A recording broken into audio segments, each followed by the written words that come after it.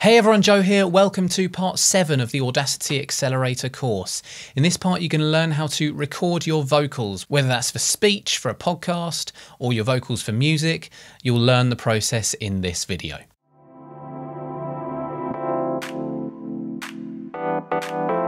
So you've got your mic set up, it's bringing in audio into Audacity. If it's not yet, then it's worth taking a look at the previous video of how to set up either a USB microphone or a microphone with an audio interface, whichever you're using. I'll leave links in the description below and on screen. I'm going to show you how to get the best sound possible out of your vocals, and the first step is getting your room and your positioning right. So let's head over there and I'll show you how to get set up with your mic. So here we are with our condenser microphone. It's really important that we get positioned correctly ourselves and the microphone.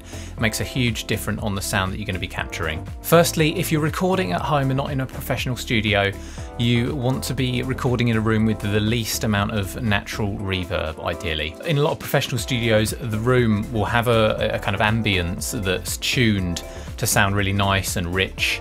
Um, at home, that's not going to be the case for, for most of you. So if you have the choice, you want to pick the room that has the least amount of natural ambience, the natural reflections that you get bouncing off the walls that go back into the microphone and make for a poor quality recording. So go for a small room if you can with lots of soft furnishings. Um, an open plan kitchen diner is not what you want to be recording in if you can avoid it. You might have the budget for a little bit of acoustic treatment like you see behind me, but even if you don't, things like uh, thick blankets, um, beds, sofas, anything like that in your room, especially behind the microphone where the reflections are going to be bouncing back and back, go, going back into your microphone, um, and also in front of the microphone.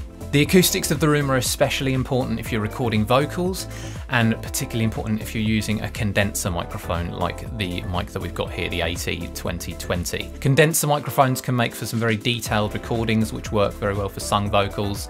Um, if you don't have the right room for this though, or if you're just recording dialogue, say for a podcast, then you might consider using a dynamic mic instead. They pick up less room sound, um, they give a lot more of a uh, more intimate recording. A dynamic microphone would be something like this Rode M1, and that's something like that's going to pick up very little of the room sound, so you don't need to worry as much um, when it comes to the acoustic treatment and things like that. But whichever microphone you're going to be using, the setup is going to be pretty much the same. Whether you're standing up to perform or you're sitting down in front of your computer to record some dialogue, the setup is going to be pretty much the same. So you're going to want the mic on a proper mic stand to separate it from the floor or the desk, or a boom arm connected to the desk can work as long as you've got one of these these cradles with the elastic on. It separates it from the vibrations and any taps on the desk that you might be making. Also, it's vital vital that you get one of these pop filters.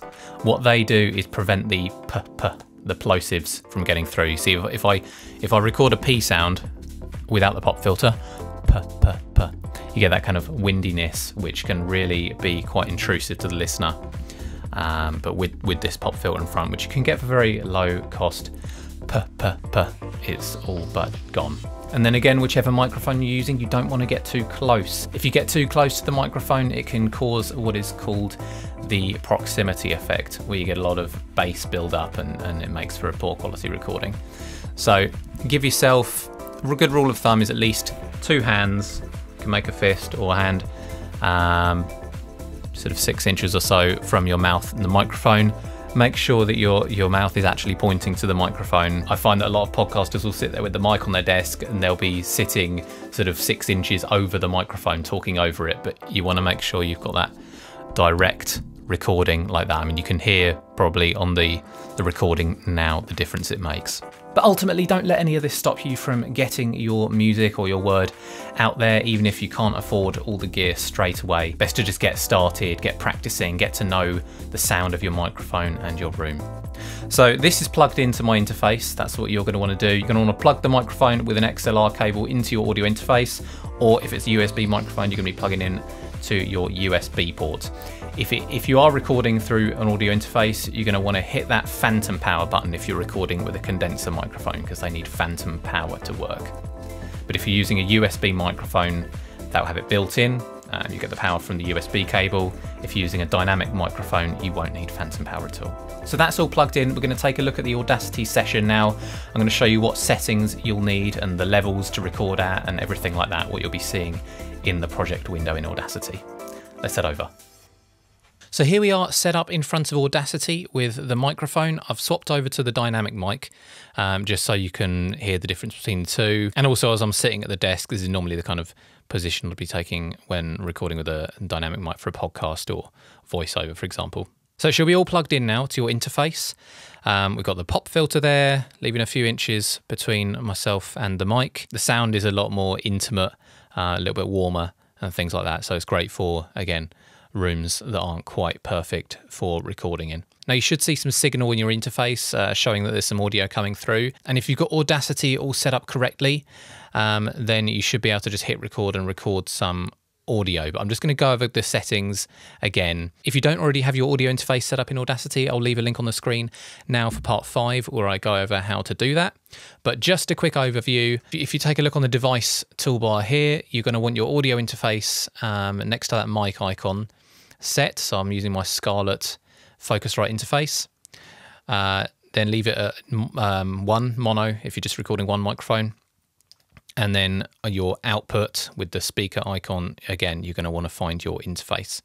Um, just be careful if you've got more than one instance of your interface. For example, you're using a uh, I don't know, a Behringer interface and it, and it says um, Behringer a couple of times on the list. Have a look for something that says line in for the recording and line out for the playback. Um, you might have something like loop back or, or some other things like that on there. So we've got our pop filter set up, nice and clear sound. If we just hit record, then we can start seeing some signal and you can start recording your vocals.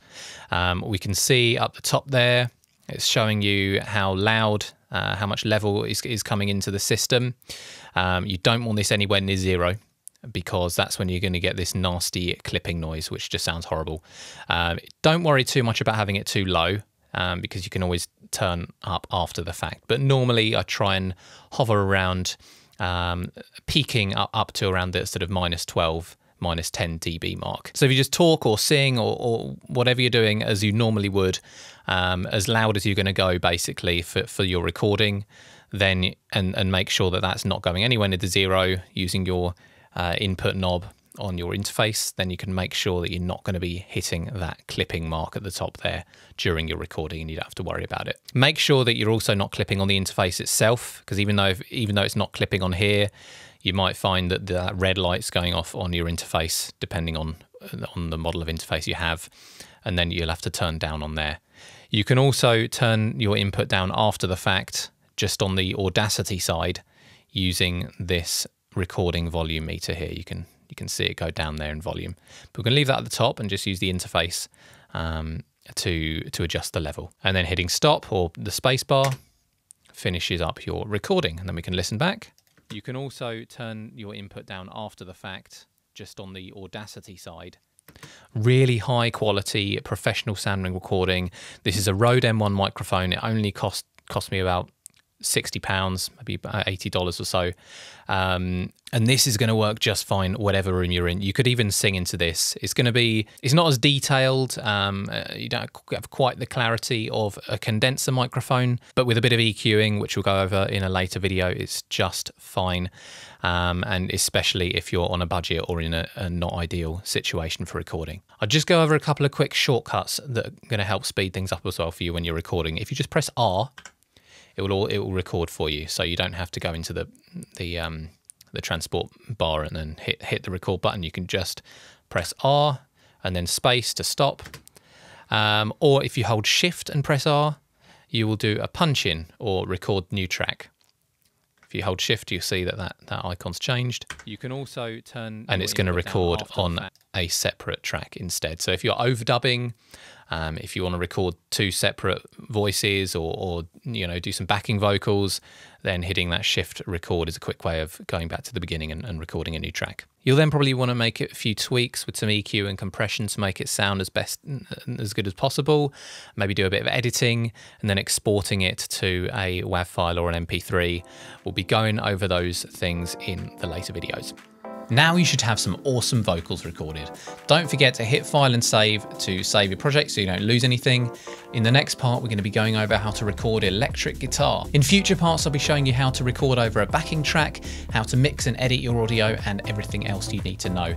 So hit that subscribe button and the bell icon so you're the first to know when each video is out. Leave a like if this video helped you, and let me know in the comments section below, what are you recording into Audacity today? And as always, thank you so much for watching, and I'll see you in part 8.